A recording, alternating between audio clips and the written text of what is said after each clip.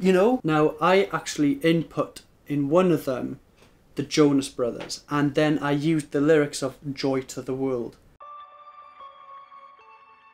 I have not been to the barbers in seven weeks, so my hair's seen better days, so I'm keeping this on for the duration of this video, if that's fine with you guys. Um, other than my hair though, I'd like to speak about a few developments I have made with regards to my current project that I've got going on. And as well, I'd like to talk about a sub-project which I've undertaken uh, with Craze the Jack about one of his recent releases.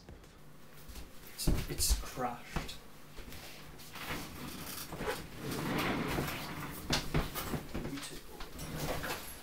Allow me the liberty to maybe go into a tangent with this segment. I'd like to talk about my recent developments, my current developments actually. I'm not going to talk about what I've already done, I'm talking about the stuff that I'm doing right now. I was doing a bit of procrastination. I'd like to call it research, but it's procrastination. And I came across a video of Rick Ashley's Never Gonna Give You Up. However, it was an A-B comparison of the original song and one created by artificial intelligence, a computer.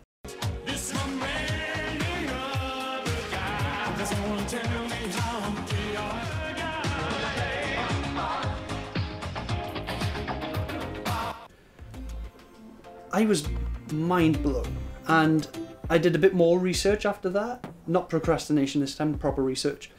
And I came across AI, Open AI, that's right.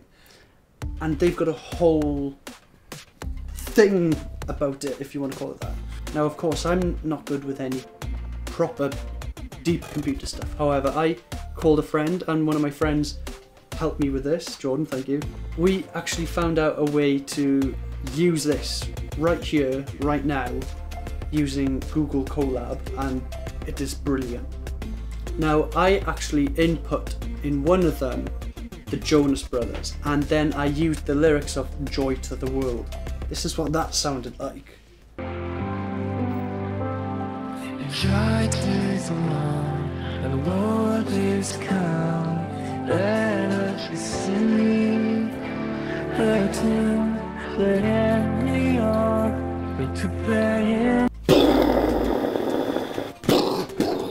you know, I did a lot more work and I actually put in Hans Zimmer like that and I put like soundtrack music. And you know you can actually pair different artists together. So I stick Katy Perry in. So it's a Hans Zimmer Katy Perry like that. It's a bit like Adele in some ways maybe but it's maybe not like that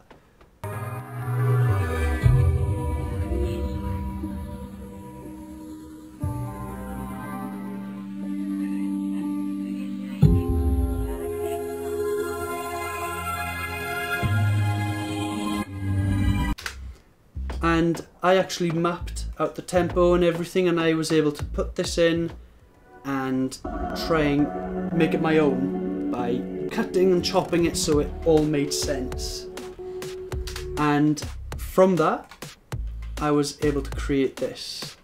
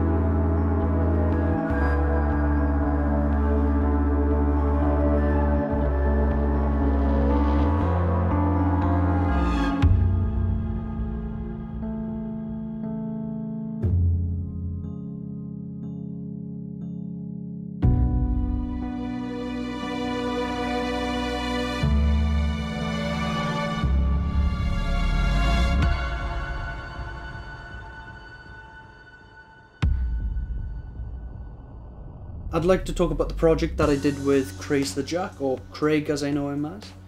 He came to me with the proposal of creating a song in response to this whole situation that we're all living in.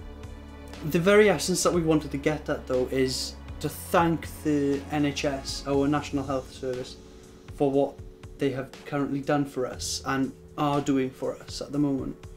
We also wanted to capture the, the feelings of what it is like during these times. Rather than taking everything in one huge stride, we wanted to take it day by day, one day at a time, which is the whole line of the song, the whole base of the song. My whole job in this ordeal was to create the song, or compose it really, and then produce it, mix and master it, and then create album artwork and a music video to accompany it. Uh, after further talking to him, he wanted to turn this into a fundraising event as well. So this ended up raising quite a lot of money, which I'm quite proud of. So, enough talking about this whole project. I want to get into the project here.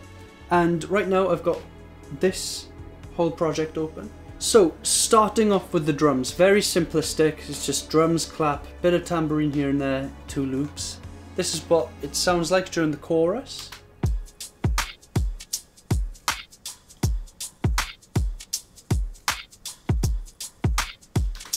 Got a bit of a swing, a bit of a lope to it, which I quite like. This is the drums during the last chorus with a bit of tambourine in it.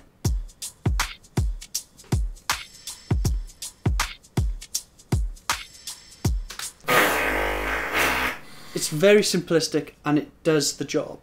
Now, this is the drums during the verses, which is a bit more low key.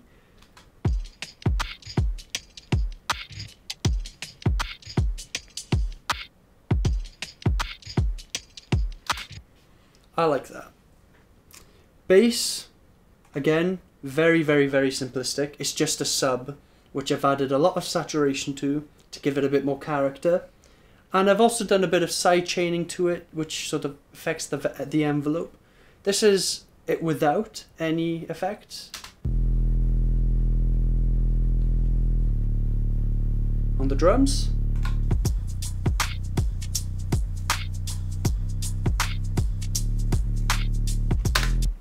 Now this is a lo-fi hip-hop song. It's quite uncommon to see guitars within hip-hop, However, within lo-fi it is quite a staple.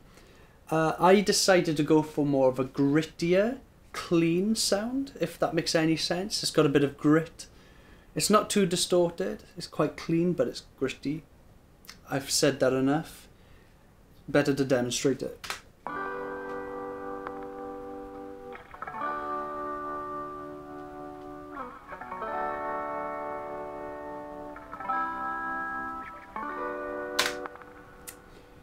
Other than the chords, I also have a little bit of picking on the dusty end as well, which adds a bit of effects as well. This is what that sounds like.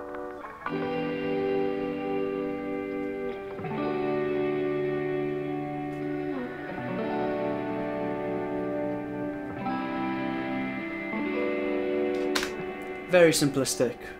So moving on to the leads, they're all pretty much doing the same thing. They're different patches, however they are pretty much doing exactly the same thing. They're quite repetitive for my tastes. A bit too repetitive, actually. However, this is what the leads sound like on their own.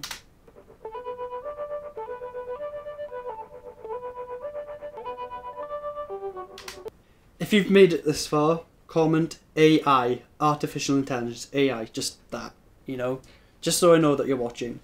Now, moving on to the keys. Now, I've got two main sort of keys going on. I've got a Rhodes, or oh, well, a few Rhodes going on, Fender Rhodes, and I've got a Kalimba patch happening as well. With regards to the Rhodes, I don't have a great Rhodes sample or whatever you might want to call it. So I've sort of compiled a few other Rhodes samples to try and create a more authentic Rhodes sound. I'm using a serum patch and two Prophet patches, similar to what I was using with the lead sounds. However, with these Prophet sounds, uh, they're quite distorted, and what I've done is I've actually split the keys apart, if that makes any sense. So one's doing the low end, the other one's doing the high end, so that I can get a bit more control over the distortion and everything. This is what the Rhodes sound like.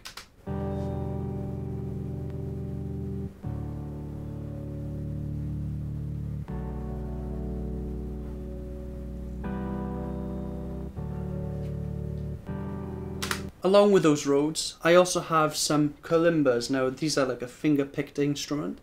I don't have any of myself. However, this is what the kalimba sounds like on its own. Very simplistic, I love it. However, what I decided to do with this is to reverse reverb it, add a bit more tension in some ways, and this is what the reverse reverbed kalimba sounds like.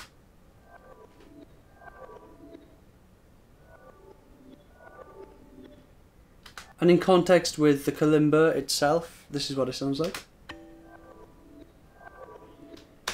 Quite nice vibey sound. This inspired me then to create more of these sounds, so I actually created a reverse reverb kalimba sound, which sounds like this.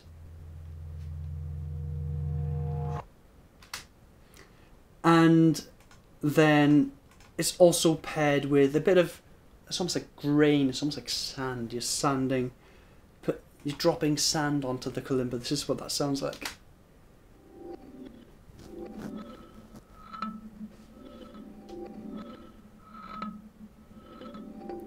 Now, as I was saying, I also got some atmospheric samples, and I have done a few bits and pieces to them to make them quite different to the original sample.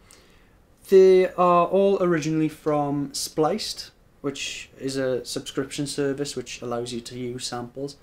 However, I've manipulated them in such a way where they no longer sound the same. I've bounced them out a few times and I've cut them up in many different ways.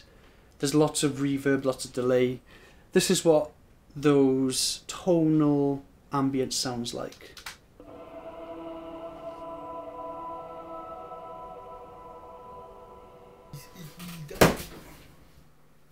With regards to the music side, I also added a few effects, which, you know, in context to the music works. However, this is what they all sound like. Very 2000s sort of sounding 808 kick, you know, whatever you want to call it. It works within context, like I said. This is what everything sounds like without the vocals.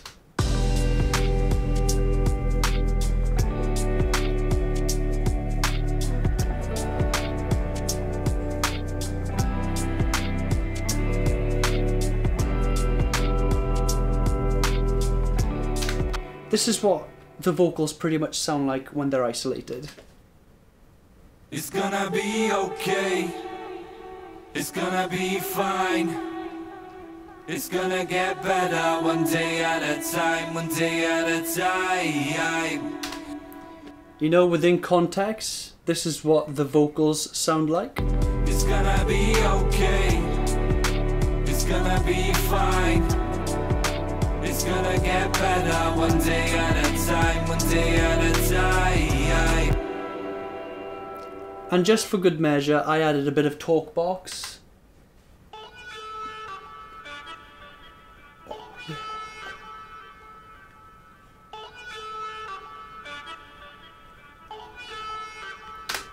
Which I quite like. It's a nice subtle variation to it. This is what the whole track sounds like.